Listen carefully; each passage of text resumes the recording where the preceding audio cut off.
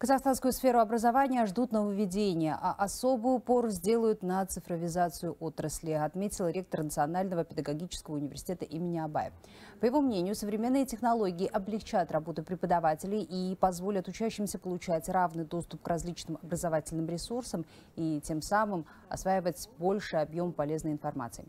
Предложения прописаны в проекте национального доклада «Качественное образование, доступное каждому».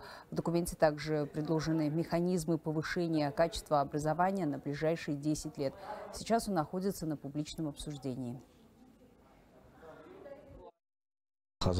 Сейчас немало критики о качестве образования звучит как со стороны общества, так и со стороны родителей. Это вполне справедливо. Отрасль образования на сегодняшний день одна из наиболее реформируемых. Весь мир сейчас переходит на цифровизацию. Это решает очень много вопросов. Например, так можно будет уравнять городские и сельские школы.